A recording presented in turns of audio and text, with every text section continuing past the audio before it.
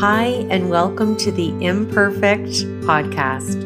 My name is Deb Crowe, and I will be your host. Join me on this journey as we meet heart centered leaders from all over the globe. Lots of interesting questions, interesting conversation, and find out what makes a leader. How do they handle uncertainty and complexity? How do they lead in a time that is volatile. Join us.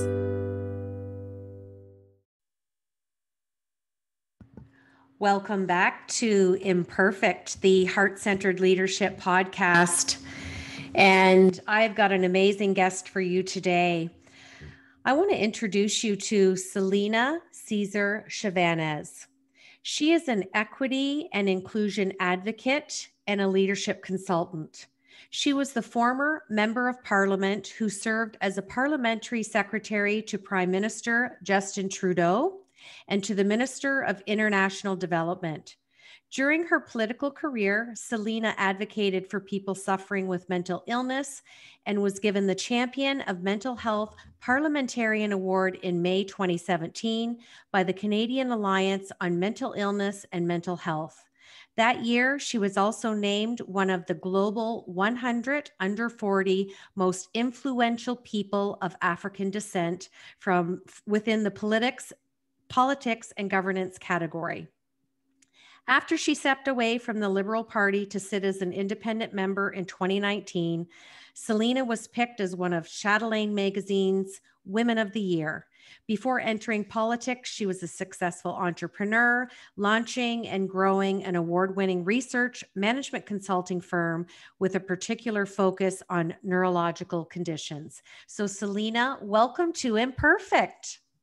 Thank you so much for having me, Deb. I'm so excited to be here. Oh, I have so many questions, and I'm so excited to have you here. And we were talking before we hit uh, record because one of my daughters saw you speak at a conference three years ago, and you've left such a lasting impression. So, as a mom, thank you for your leadership and your mentorship to all young girls out there.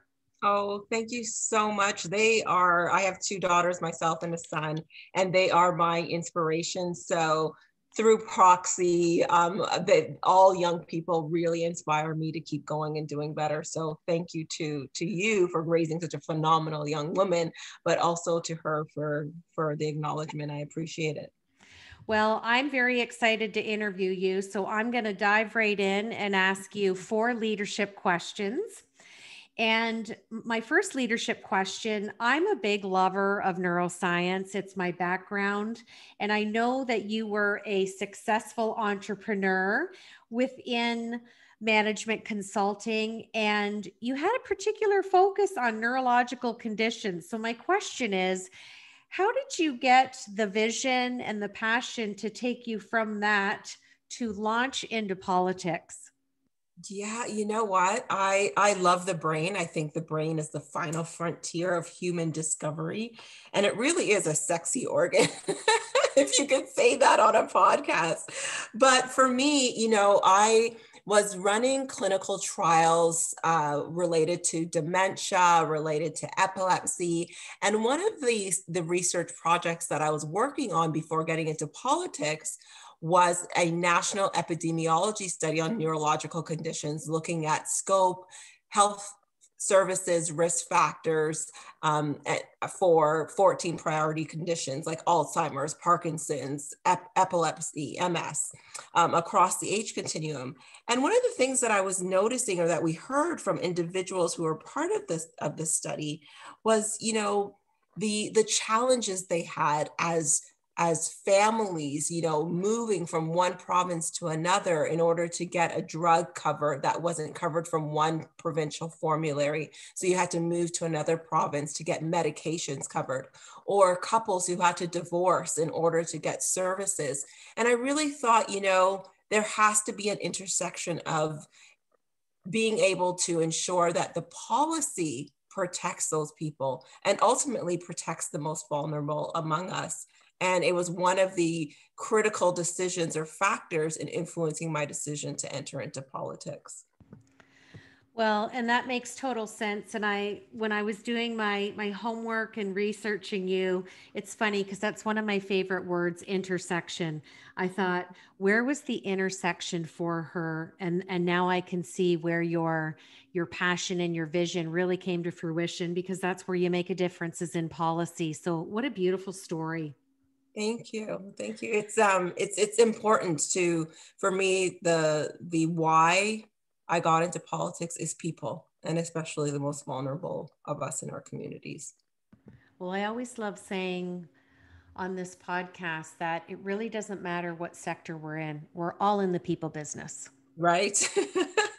100%. So, my second question all of my guests, since the inception of the podcast last May, have got this question. Share with us what imperfections you bring to your heart centered leadership? Oh my goodness, such a great question. So, um, I would say all of my, all of them, all of the mistakes that I've made, all of the flaws, all of the hurts, all of the pains.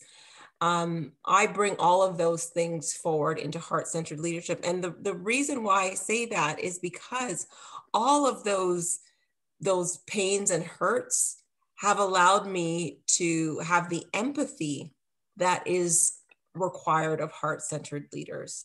I think that understanding that people have those challenges, that they have those moments where they fail and they feel guilty or they feel shame, understanding that, you know, we have more in common, including our mistakes, than we have differences among us it creates that empathy that allows us as human beings, and especially as individuals who are transformative leaders or heart centered leaders, to be able to connect with other people in a way that allows them to move forward for the greater good. We're, if we've learned nothing in 2020, it really is that we're all in this together and we have to move forward together, and empathy has to be at the center of that.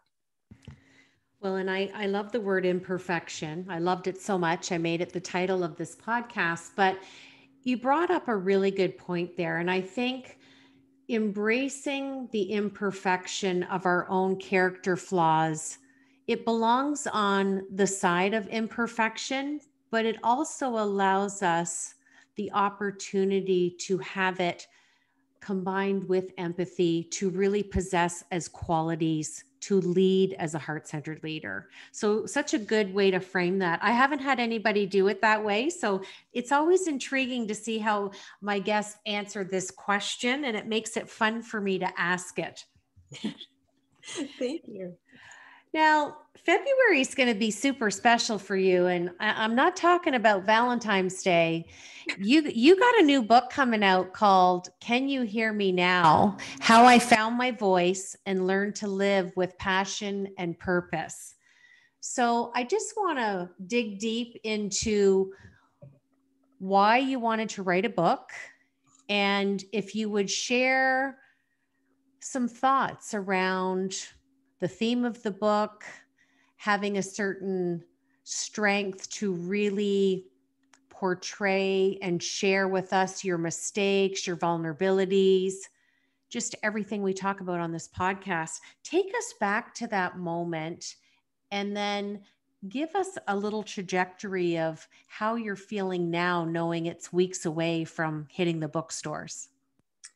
So, Deb, this is this is great because it's no longer a week. So I'll answer this question, these questions in reverse order. It's no longer weeks; it's days. We're five days away from it hitting the bookstores, and and in fact, people have already received the book. Um, so there is some trepidation with knowing that people are going to be opening the pages and reading in black and white not only the words that I've written, but um, touching a little bit on our previous question and the themes that are in the book, just understanding that people are going to be reading about some of these mistakes I made. I was intentional, Deb, about really uh, leveraging the word that you have in your pro- in your podcast, really highlighting my imperfections, highlighting the mistakes that I've made, and the pains that I went through and being really vulnerable with the book in a way that I don't think a lot of memoirs are. I find that, you know, sometimes there are memoirs where they highlight all of like the, the successes people had and, you know, the great things that they've done. This has some of that in there, but it also shows every single mistake and what, ones that I'm ashamed of and embarrassed of as well. And the reason that I put those in as, as a theme of the book is exactly for for you know to to put that imperfection on display because it helped to to build that empathy. It helped to to in for me in writing the book to really let go of a lot of those hurts. But also i think that when we are very candid with our vulnerability it builds resilience in other people. When we are able to remove the facade um, step away from you know the instagram filtered lives that we live and actually show ourselves as true human beings that's when we really start to connect those fibers that may have been lost. We, we saw a lot of that with the inter- insurrection of you know the capitol in, in in january and you know all the sort of divisiveness that the world has. I think removing some of that allows us to connect as human beings through our vulnerability, through our realness. And I wanted to write it just for that, for the purposes of saying, let's just let's just peel it back a little. Let's just go back to basics and realize that we really are more in, in we have more in common than we have that are different. And that includes our capacity to make mistakes, to have flaws, but to also have joys and to have triumphs as well. Well, I like to call mistakes fall forwards.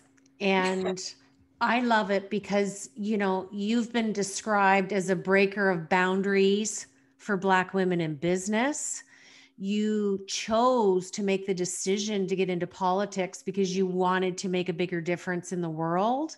And you also were the first Black person elected to represent the federal riding of Whitby, Ontario. So just know there's a big virtual high five coming to you through this mic. And what I love the most is you own your character flaws.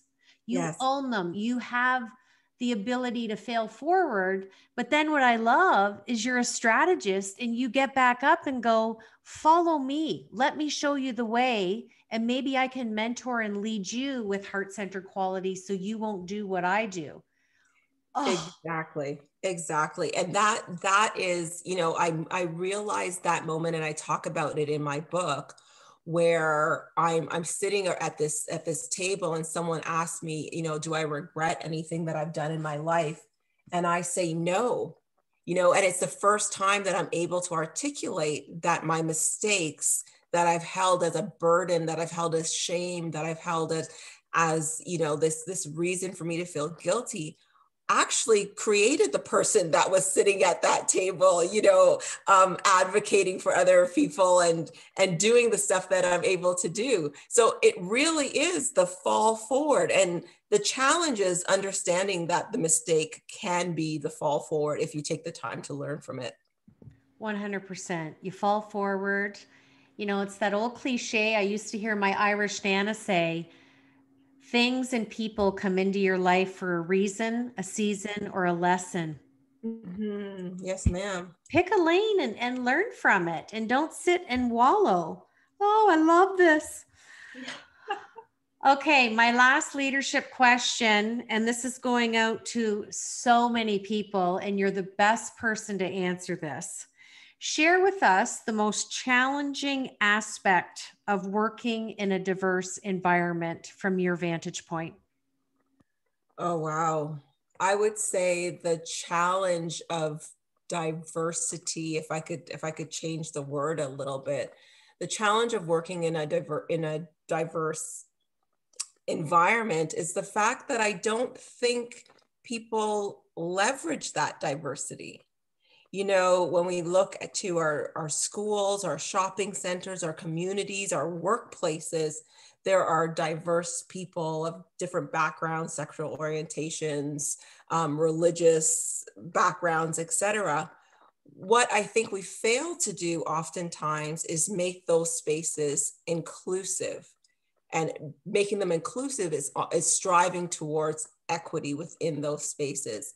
Diversity, in and of itself, or a diverse space where you have all of these different people sort of walking or working in silos, doesn't really add strength to your organization or to whatever your communities or just your schools. It's when we have those connections is when we put put away the the sort of the filters and the falsehoods and we just connect as human beings where we're able to have those inclusive sort of conversations. We're able to understand each other more. We're able to attain that level of empathy for each other that we could only get when we're listening and understanding each other. That's when we strive towards equity.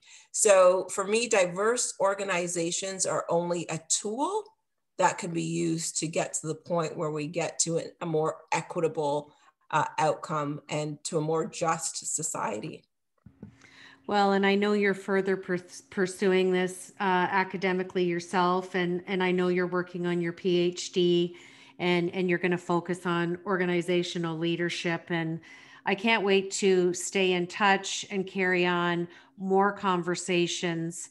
And I'll be excited to hear what you're doing your dissertation in. So I, I, we're going to be having a part two to this conversation for sure. Thank you. I'm going to switch to my Fab Four now. And okay. just four fun questions. We want to know what's on the top of, of your mind. First question Tell us something that we don't know about Celina oh my goodness, what people don't know, which I think that they would assume is not the case, is that I am a what I call a trained extrovert. I am such an introvert. I would much rather be in my pajamas, under my covers, in my bed, like not around anybody, just self isolated to the nth degree.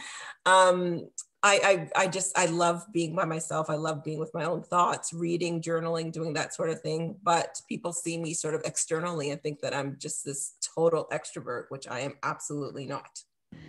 Well, I, I'm in the same lane. They think because you're outgoing and you're a coach or you were in public office or you write a book or you do a podcast, I am also a trained extrovert and I'm right there with you with the fuzzy slippers and a good book. Yeah. and what's super interesting is almost all of the leaders that I have interviewed on the podcast since last May, we all have that in common. All thought leaders are truly introverts and i think it's because we we think it's such a deep level of thought that we really need that cognitive break and not that social stimulation Right. And it just it intrigues me because I hear this over and over so much and I thought, "Oh, I've got a whole new group of friends out there that I didn't even know and we're all in the introvert club." But people think like you talked about because we're out there talking and chatting and leading and mentoring, it's just a perception, isn't it? It, it really is. And even when I'm at parties or social events, I'm in the corner sipping my wine and just watching people move and how they communicate and what they do. So I'm usually off to the side and just just enjoying like the present sometimes just taking that moment to just enjoy the moments that are happening as opposed to the busyness of what is happening in the moment well i'm a yoga teacher so you're going to get another high five for that i always say to people if we could have a cognitive address of living in the now yeah. our, our world would be so different our oh. thought process our leadership so fun Okay, second question Who is a leader who has really inspired you? And would you share with us why? Okay, so this answer is going to be unconventional because I have two. And as um, you may know, I have three children, but my daughters, they are 100% my my heroes, the, the, the individuals that I look up to. They are like Celina 2.0, I call them. Um, my my daughter Desiree, she's you know finished her law degree, world traveler, lived on her own since she was God only knows 17, I guess, and has just really did everything at, in her life that when I was growing up I was too afraid to do. And then my daughter Candace, who's 16, also really well traveled, travels by herself. Um, you know, goes on these amazing adventures and is so incredibly smart, has a tongue like acid, reminds me so much of myself. But again, it's just, it's just, are just these unafraid, uninhibited people who are advocates for social justice. They stand up for um, people with um, different and multiple intersecting identities. I just, I just couldn't be more inspired and at the same, same time more proud of, uh, of, of two individuals that, that keep me motivated to do, to keep doing good and, and hoping that I'll, I'll make them proud enough. well, it's interesting because we were, we were chatting before we recorded here and I can honestly say I feel the same way about my daughters. You almost have a little bit of living vicariously through them but you got to you got to give kudos back to being that mom of having a voice and stepping into leadership. And like you said dropping the facade and really demonstrating to your daughters or sons it's okay to fail it's okay to be sad it's okay to be tired it's okay to cry. There's mm-hmm. no one emotion that we're to be in after a circumstance or a situation. So it's lovely that that's who inspires you and and you've raised two leaders. And i mean look who their mama is I am I'm really proud of of all three of my kids, but those two girls are just oh it, it, uh, you know when i when you kind of look back and see what they've done over their lives i'm like i'm i'm often nervous about it because i'm like what? Who is your mother? And why did she let you do all this stuff? And then i'm like oh i'm your mother and i let you do all this stuff. It's i always joke with my kids and say that they are a life sentence and they just smile back at me. Now, other than the obvious, which we're going to put out good wishes for your book. I am excited to get a copy for myself and my daughter from you. Of course, we want a well wished signature in the front from you. For sure. Aside from the logistics and the business side of, of releasing a book, what is your wish for this book and the message that you're conveying? Oh, great question. Um, my wish is really to the young people who read, especially young women who read this book. Um, and I and I put a list of young women in the acknowledgments um, on purpose because I want them to know that their voice, their authenticity, their every experience, every joy, pain, strength, flaw, everything is adds value and is so important to our worlds. And I've done the whole, you know, I cracked myself open and exposed everything so that these young women can can have could know that they're not going to be the only ones who make a mistake and won't feel alone if and when they do make a mistake but know that no matter what the challenge that faces them, they can overcome it. And I'm hoping that young women in particular read this book and are so inspired and feel like they have somebody who sees them and who is looking out for them. That's beautiful. And I I I can already feel from what you've written about the book and listening to the audio clip i'm i'm really excited to get the book to to have for myself but especially for my my daughter who's in social justice and peace and has heard you speak. And it's it always warms my heart as a mom and a professional when another woman can say something to really ground a young person's attention, but you've engraved a message on her heart. And I think oh. your book is just going to further augment that. So I'm super excited for you. And what a beautiful wish and message that you've done for the world. My last question is What advice would you give to someone wanting to pursue a similar career to yours? So, a couple of things. Um, number one, show up, go for it. I don't think that I could have achieved, you know, any level of success, however you define success. That's a that's a topic for another podcast. Um, but I couldn't have achieved a level in which I'm using my voice and living with passion and purpose if I didn't show up in the first place. The second is to be authentic. Um, when you show up, be be your authentic space your authentic self in those spaces. As i said bring everything all of your experiences um, education experience knowledge adds value and know that that value is a, a complement to whatever institution that you are in. And third if you're going to show up and you're going to be authentic use your voice do not for a moment think that your voice is is not powerful enough to change the world. Use your voice. And you know I'm, I'm very cautious about not saying that you know i'm a voice for the voiceless. Everybody has a voice. Everybody has the capacity to change the world. Oftentimes they are whispers and we need other people to help amplify those voices. So show up be authentic, use your voice for good, and change the world. Well, and you made a really good point there. We've heard many voices over decades that have had a good message, a poor message, and a message of indifference. Mm-hmm. They all they all move the needle. Right. It's emotion and it's you know my favorite neuroscience term it's metacognition. It's how we choose to think about thinking for what we see with our eyes and what we hear with our ears. Mm-hmm. so it's always interesting. It's not only the message it's the delivery of the message and the intent.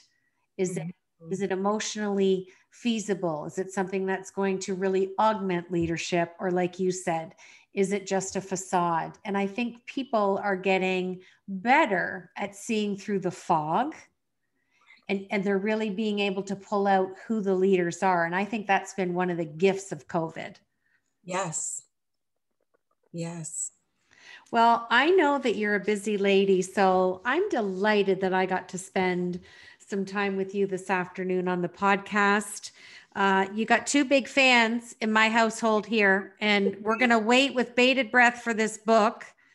Oh, thank you so much, Deb. This has been an absolute pleasure. And it was so great to reconnect with your little one again. It was so good. Oh, absolutely. And I I just wish you nothing but continued success. I think you're just getting started.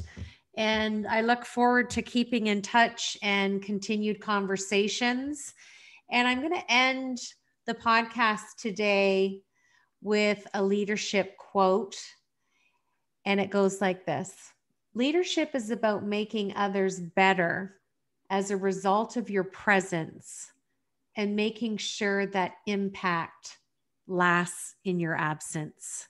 Mm-hmm. So I want to thank Celina because I really think that quote is so representative of who she has been in her career the decision that she made to change careers, and then the tenacity, the courage, the vulnerability to write her new book. So we'll make sure that we have all the details in the episode description so you can check out her book and connect with her online.